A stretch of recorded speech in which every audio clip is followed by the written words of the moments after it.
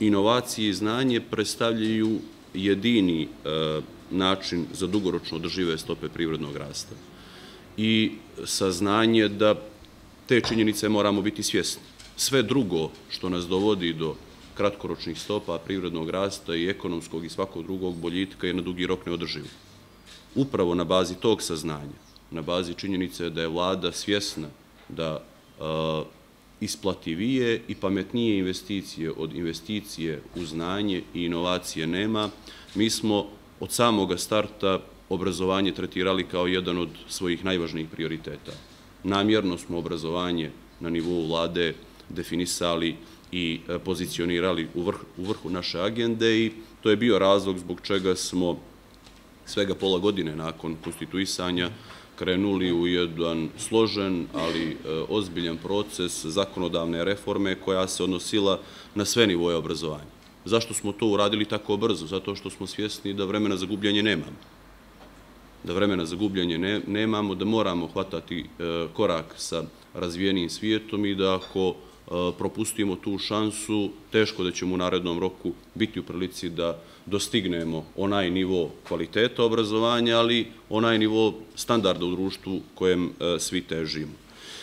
Kada govorimo o toj zakonodavnoj reformi, onda ste bili u prilici da konstatujete da se ona odnosila na sve nivoje obrazovanja. Namjerno smo se opredilili za frontalni e, pristup, za pristup koji je podrazumijevao obuhvat reformom od preškolskog, preko osnovnog, srednjeg do visokog obrazovanja, s tim što smo e, velik akce nastavili na oblast visokog obrazovanja. Rekao bih e, s pravom, jer je to ipak e, tema koja i od koje zavisi naš ukupni, naš ukupni rezultat kada govorimo rezultatima vladine politike u oblasti obrazovanja i nije se libili da u tom pravcu uradimo početne korake koji su po nama predstavljali dobru osnovu za kvalitetniji sistem visokog obrazovanja. Dakle, ono što je još važno da naglasimo kada govorimo o tom pristupu jeste to da nam nije samo fali, nije nam nedostajalo volje da krenemo u poboljšanje kvaliteta, nego smo toj volji pridodali i E, nikad veća izdvajanje za obrazovanje, jer smo svjesni da koliko god vi na kvalitetan i dobar način podesili sistem u zakonodavnom smislu, on jedino može odbaciti kvalitetan rezultat ukoliko ga prate izdvajanja koja su na većem nivou nego što su ikad bila. Tako da, kada to sagledamo sa te strane, onda mislim da smo već na samom početku postavili dobre osnove za kvalitetnije visoko obrazovanje. Što, je, što su bili ciljevi od kojih smo krenuli? E, ciljevi su bili trojaki, rekao bih. Da poboljšamo kvalitet, da učinimo visoko obrazovanje pravednijim i da ga učinimo funkcionalnijim. Kada govorimo o potrebi poboljšanja kvaliteta, onda mi dozvolite da se podsjetimo šta smo u tom segmentu uradili. Dakle, reformisali smo model studija, reformisali smo model studiranja, dakle, i e, ustanovili ga na način koji je najprisutniji u evropskom prostoru visokog obrazovanja. Prešli smo na model 3 plus 2 plus 3 i od tog modela očekujemo konkretne rezultate u narednom periodu. Zatim smo izvršili reformu modela finansiranja e, državnog univerziteta kao temeljne institucije ove države.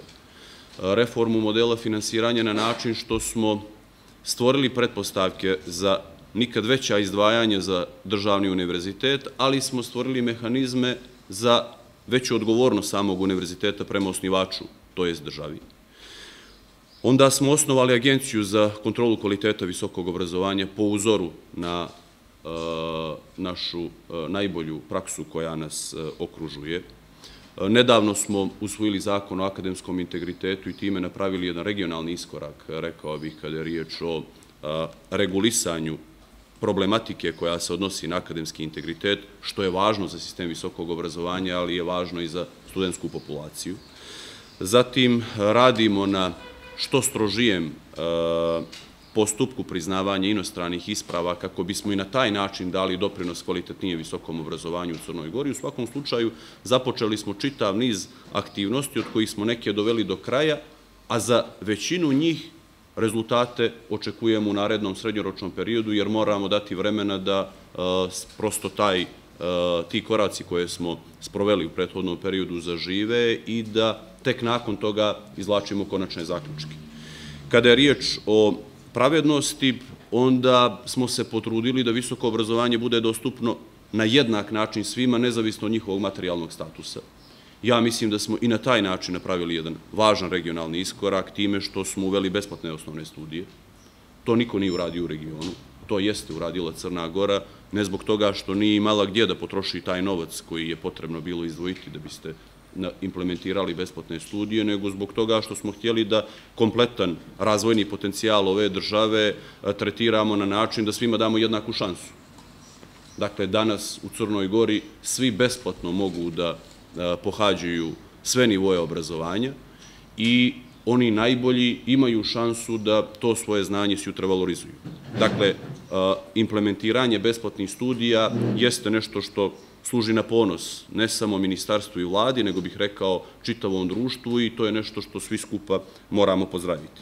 Uveli smo i besplatne magistarske studije, oni će startovati e, od 2021. godine, odnosno od momenta kada prva generacija izađe e, sa studija koja je studirala po novom reformisanom e, modelu studiranja, a da bi benefite besplatnih magistarskih studija uživali stvarno najbolji, Prihvatili smo s velikim zadovoljstvom inicijativu studentskog parlamenta i prepoznali potrebu polaganja prijemnog ispita prilikom upisa na magistarske studije po novom reformisanom modelu, čime osiguravamo ovaj početni korak koji nas i motivisao da idemo u ovom pravcu. Kada govorimo o funkcionalnosti, trudili smo se da sistem visokog obrazovanja učinimo funkcionalnijim u smislu da studenti koji izađu sa ustanova visokog obrazovanja imaju prostora više na tržištu rada nego što su ga imali do sad, razumijevajući da je kvalitet praktičnog e, iskustva i praktična nastava nešto što je uglavnom od strane i privrede, a i sami studenta tretirano kao jedan od nedostataka sistema visokog obrazovanja, odlučili smo se za jedan rigidan korak koji je podrazumijevao obavezivanje svih ustanova visokog obrazovanja da implementiraju praktičnu nastavu na nivou od minimum 25%. Time cijenim da smo poslali poruku e, svima da želimo da nakon završetka studija dobijemo studenta, odnosno svršenog studenta koji jednako vlada i teorijskim i praktičnim znanjima i vještinama.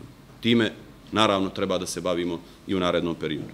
Kada je riječ o rezultatima, rekao sam, cijenim da smo napravili dobre temelje, cijenim da smo na dobrom putu, daleko smo od cilja koji želimo da postignemo i to treba ovdje sasvim otvoreno reći, ali nemam nikakvu dilemu da sve ovo što je do sad urađeno, urađeno je e, na bazi prethodno e, sprovedenih analiza koje su bile promišljene i koje su nam e, omogućile da krenemo jednim putem kojim se moramo kretati ukoliko želimo da obezbijedimo kvalitetniji sistem visokog obrazovanja. Kada govorimo o daljim planovima, onda bih rekao da je prva stvar o kojoj moramo svi voditi računa puna implementacija zakonskih rešenja. Nije jednostavno definisati kvalitetan zakonodavni okvir, ali je još manje jednostavno primijeniti taj zakonodavni okvir. I to je izazov za sve nas. To je izazov i za ministarstvo, ali je to izazov i za univerzitet i sve ustanove e, visokog obrazovanja koji funkcionišu kako na državnom, tako i na privatnim e, univerzitetima. Kada govorimo puno o implementaciji zakonskih rešenja, onda govorimo o jednakoj primjeni modela studiranja. Činjenica je da e, se način primjene modela studiranja možda u neku ruku razlikuje od ustanove do ustanove. Moramo imati ambiciju da ga učinimo unificiranim moramo imati ambiciju da ono što je zapisano u zakonu zaista e, do kraja bude e, ispoštovano i u tome očekujemo veliku pomoć vas, studenta koji e, na svojoj koži osjećaju taj novi model studiranja, pa su samim tim i najpozvaniji da nam ukažu gdje i na koji način se on možda ne implementira na kvalitetan način. Poseban izazov nam predstavlja primjena praktične nastave. Dakle, lako je nama bilo na nivou države definisati da su ustanove dužne da definišu 25% praktične nastave ovaj, tokom studija, teže je implementirati to. To je zajednički izazov, to nije odgovorno samo univerziteta. Univerziteta Crne Gore, niti bilo kojeg drugog privatnog univerziteta, već je to naša zajednička obaveza. Preko noći do kraja implementirati onako kako glasi ta norma ne možemo, ali ćemo uraditi sve što možemo da u najkraćem mogućem roku ona bude primjenjiva.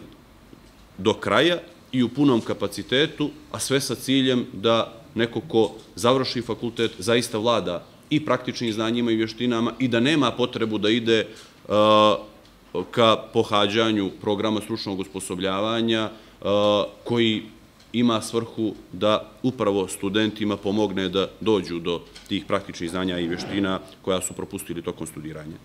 Izazov nam je i promjena pristupa predavanjem i promjena koncepta koji će značiti veći akcenat e, sa predavačkog na interaktivan tip nastave.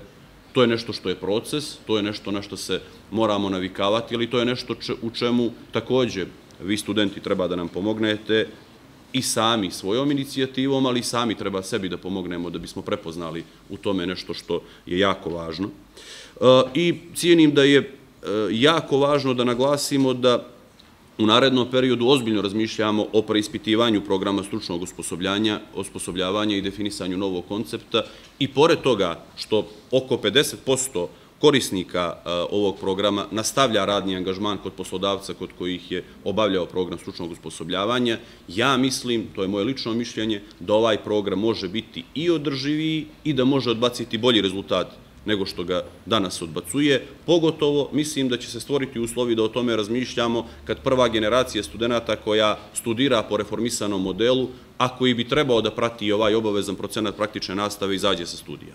Cijenim da tih 8 miliona eura koje ova država izdvaja za program stručnog usposobljavanja mogu još kvalitetnije da se ovaj, potroše, iako su rezultati ovog programa na zavidnom nivou i njima smo zadovoljni, ali mislim da prostora za unapređenje ima.